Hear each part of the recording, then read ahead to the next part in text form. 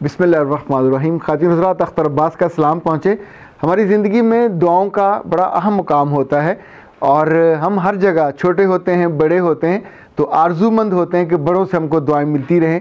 कुछ ऐसे खुशबक होते हैं जिनको अपने इस से भी दुआएँ मिलती हैं, कुछ को अपनी बीवियों से मिलती हैं, कुछ को अपने बच्चों से मिलती हैं। और कभी कभी जब आप सदका खैरात करते हैं तो भी लालच तो यही होता है कि हमको दुआ मिले। बहुत से ऐसे लोग हैं जिनके रिस्क में से मुख्तलिफ़ घरों में राशन जाता है, कहीं चैरिटी जाती है, वो भी दुआ लेने के लिए कर रहे होते हैं। और जब जब हम रिश्ते बनाते हैं और नए रिश्ते हमारे ज़िंदगी में आते हैं तो वो सास का हो, वो ससुर का हो या उन घर, जो बड़े होते हैं, जब हम उनके आगे सर झुकाते हैं तो भी हम उनसे दुआ लेने की आरज़ू कर रहे होते हैं। और वो माएँ या बाप हमारे सर पे जब हाथ रखते हैं तो हाथ नहीं होता, वो भी दुआओं का पूरा टोकरा होता है। ये जो शादियाँ जब होती हैं तो तोहफ़ों के टोकरे आते हैं, दुआओं के टोकरे आते हैं तो कुआत के टोकरे आते हैं, पर इन दिनों कुछ टोकरे अजाफी हो गए हैं जो पहले नहीं आते थे। मैंने सोचा आज उन्हीं अजाफी टोकरों की जो गैर ज़रूरी हैं, पर अब होते जा रहे हैं, बढ़ते जा रहे हैं, और ये जहेज़ की तरह और बरी की तरह एक लाजिम चीज़ होती जा रही है, जिसके नतीजे में क्या हो रहा है? कि जब वो टोकरा खुलता है और उसमें से वो बम फटते हैं तो आपकी ज़िंदगी फट जाती है। ये ज़िंदगी पहले हफ़्ते, ये ज़िंदगी पहले महीने, ये ज़िंदगी पहले साल ही बेतरतीब होके, बदरंग होके, बेअसर होके आपकी ज़िंदगी आपके हाथों से निकल जाती है। ये टोकरे बदुआओं के टोकरे हैं। अब तो मैं बहुत क्लैरिटी के साथ ये आपसे कह रहा हूँ कि दुआ करनी चाहिए कि बच्चियों के रिश्ते जहाँ हो रहे हों, वो लड़के जो बहने आते हैं, वो लड़के जो तोहफ़ों के साथ आते हैं, वो जो लड़के अब नई ज़िंदगी का सफ़र का आगाज़ कर रहे होते हैं, उनके पीछे बैगेज ना हो बदुआओं का, उनके पीछे लगेज ना हो बदुआओं का। उन्होंने जितने दिल तोड़े होते हैं, जिस जिसकी ज़िंदगी से खिलवाड़ किया होता है, जिस जिसकी रूह को ज़ख्मी किया हुआ होता है, देखिए ये तीन चार तरह के दर्जे हैं कि जो उन्होंने उन पिछले 16, 17, 18 सालों में ये किया हुआ होता है। लाइक किसी से वादे वईद किए उसको आरजुएँ दिलाई उसको सब्ज बाग दिखाए उसको ख्वाब दिखाए और बाद में आते हुए सब ख्वाब किरची किरची कर दिए तो वहाँ से दुआ नहीं मिलेगी बदुआ मिलेगी। और बदुआ आमतौर पे आपकी सेहत के बारे में नहीं होती। बदुआ आपके जुड़ने वाले आपके बनने वाले घर और रिश्ते के बारे में होती है। बदुआ आपकी खुशियों के बारे में होती है। नंबर दो जिन जिन लड़कियों के साथ उनकी ज़िंदगी में आपने बदयांती के साथ झूठ बोल के, यानी बात तो बदबख्त ऐसे हैं कि शादी से दो दिन पहले उधर उनकी मेहंदी की तकरीब हो रही होती है और वो किसी के साथ वक्त भी गुजार रहे होते हैं, उसको फ़िज़िकल तौर पे टीज़ कर रहे होते हैं, उसके साथ उसे यूज़ कर रहे होते हैं और उसके बाद एकदम से उसका नंबर ब्लॉक करके उन्हें लगता है कि अब उसकी मैं ज़िंदगी से निकल गया हूँ।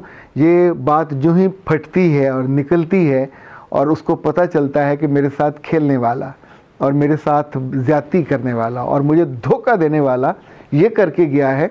तो आप सोचिए, उसकी तरफ़ से कोई फूलों का बुके तो नहीं आएगा? उसकी तरफ़ से बंदूक खान के बड़े बड़े मिठाई के टोकरे नहीं आएँगे बदुआओं के टोकरे आएँगे और जब बदुआएँ चूँकि दुखी दिल से निकली होती हैं, ये बदुआ एक रोती लड़की की आँखों से और उसके उन बेअसर आंसुओं से निकली होती हैं कि जो उसकी आँखों को बेनूर करने वाले होते हैं, जिसने सब कुछ लुटा दिया होता है उस बदबख्त के लिए और वो उसको छोड़ के तनहा, झूठ बोल के, फ्रॉड करके, धोखा दे के और किसी और के साथ ज़िंदगी बसर करने चल पड़ा हो। अब वो जिसके साथ ज़िंदगी का सफ़र का आगाज़ हुआ, वो तो मासूम होगी बेचारी, वो तो नहीं जानती होगी पर उसको ये दुआ ज़रूर करनी चाहिए कि मेरी ज़िंदगी में आने वाला, देखिए जिस तरह ये मैं एक मुख्तलफ सी बात कहने लगा हूँ। जैसे हम ये सोचते हैं कि हमारी ज़िंदगी में आने वाली लड़की को बिल्कुल पाकिज़ा होना चाहिए। उर्दू में कहते हैं बाकरा होना चाहिए। बाकरा कहते हैं जो बिल्कुल पाकिजगी की और इफ़्फ़त की और असमत की एक सिंबल होती है, जो वर्जन, वर्जनिटी जिसके साथ होती है, उसको बाकरा कहा जाता है। हर माँ उसी का सफ़र करती है, हर बेटा भी उसके बारे में सोचता है।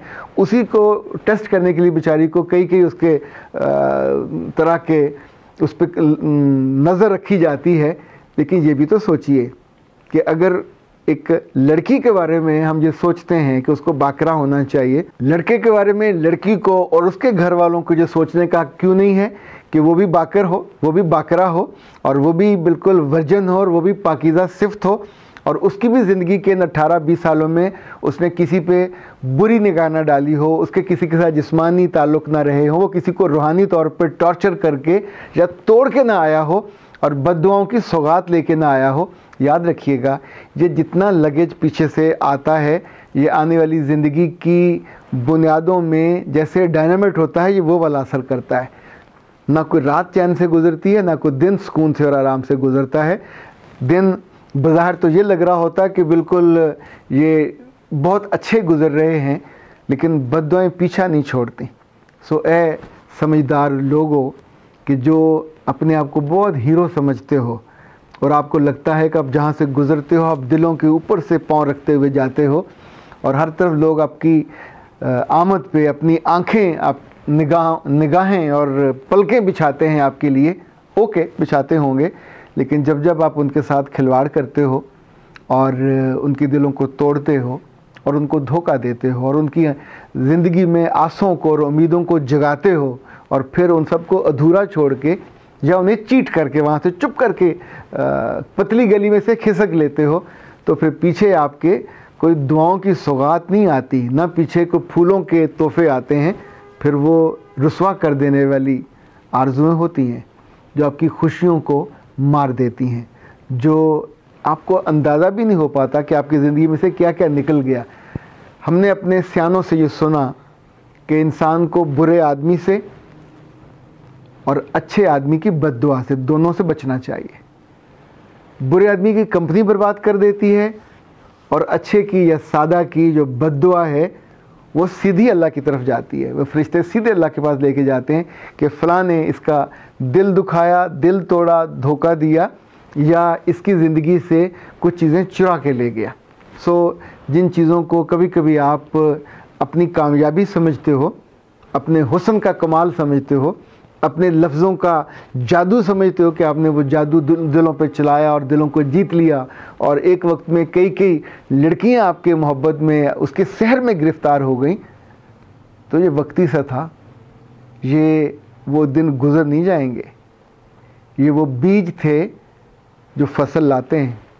ये वो बीज थे जो तनावर पौधे बनते हैं और इन पौधों पे जो फल लगता है वो जहरीला होता कड़वा को सैला जहरीला और उसका जहर, जब जब उसका लुकमा आप लेते हो, चाहे वो याद का लुकमा हो, चाहे मुलाकात का लुकमा हो, या कहीं टाकरे का लुकमा हो, जब भी आपकी ज़िंदगी में आएगा, वो फिर आपको बेतरतीब भी करता है, बेचैन भी करता है और रसवाई की दर पे भी ले जाता है। तब हम नहीं जानते होते, कई साल गुजर जाते हैं, कुछ बदवाएँ फ़ौर जूद असर होती हैं। पेनाडोल और पैरासीटामोल की तरह फ़ौर ही झाग बनती है और वो असर कर जाती हैं, पर कुछ बदवाएँ तो जड़ों में बैठ जाती हैं। और उनका असर बहुत देर तक रहता है, नस्लों तक भी चलता है। अल्लाह ना करे कि आप इस मुश्किल में, इस परेशानी में पड़ो। उस वक्त जो रोना है, उस वक्त जो माफ़ी मांगनी है, उस वक्त जो तड़पना है, बेहतर है इंसान इन दिनों को ज़्यादा समझदारी से, ज़्यादा जहानत से, अपनी इज़्ज़त को, अपनी असमत को, अपनी इफ़्फ़त को, मैं मर्दाना की बात कर रहा हूँ, बचा के रखें, ताकि किसी का दिल आप यूँ तोड़ के उसके ऊपर से न गुज़रें। और फिर बद का जो पूरा भंडार है, ये आपके साथ ना जाए। अख्तर अब्बास को इजाज़त दीजिए। असलकम वरहमतुल्लाह